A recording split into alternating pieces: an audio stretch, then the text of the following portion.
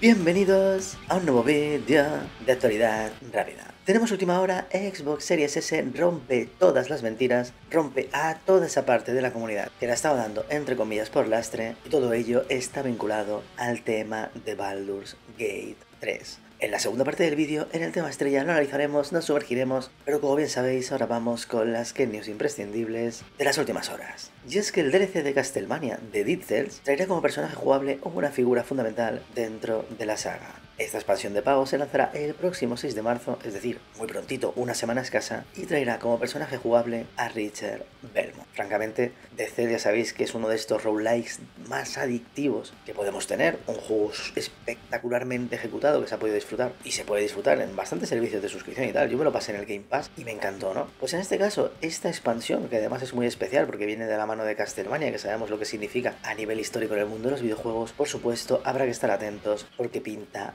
absolutamente genial. Ahora sí que sí, vamos con el tema estrella. Como bien sabéis, Baldur's Gate 3 fue uno de los videojuegos que se anunció en el State of Play, el cual de momento nos confirmaron el salto a consolas. En este caso, dicho salto a consolas de momento está solo en PS5. Esto generó la polémica de si va a ser exclusivo, si no, si Sony había comprado otra y todo el rollo este. Bueno, los desarrolladores dijeron que no, que ellos no están jugando a esto de las exclusivas, pero que en Xbox estaban teniendo ciertos problemas de desarrollo, ¿vale? Mucha gente intentó relacionar estos ciertos problemas de desarrollo sin que se especificara, sin que se hablara de los mismos, con Series S. Pues bien, todo esto está desmentido, todo esto es un fake y una vez más Series S vuelve a imponer su verdad. La realidad de que esta consola va a aguantar y de que esta consola sigue siendo calidad-precio, independientemente de que sea la hermana pequeña, calidad-precio es de lo más espectacular que hemos tenido en la historia de los videojuegos. Baldur's Gate 3 llegará a Xbox Series cuando solucionen un problema con el cooperativo local. Larian Studios asegura que no hay ninguna exclusiva en consolas para PlayStation y lo único que impide su lanzamiento es un problema técnico con el cooperativo a pantalla partida. Pues bien,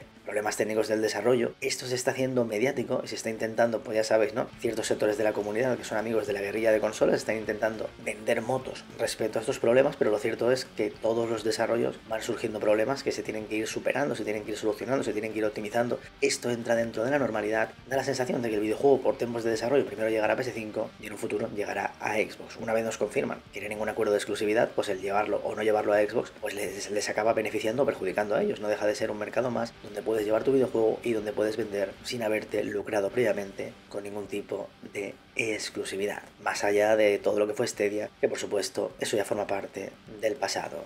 Recordad que si queréis seguir todos los vídeos del canal, suscribiros, darle a la campanita, que YouTube a veces falla. Y si todavía queréis apoyar más y más el trabajo de este humilde canal, podéis ser miembros por el precio mínimo para formar parte de la familia Ultimate.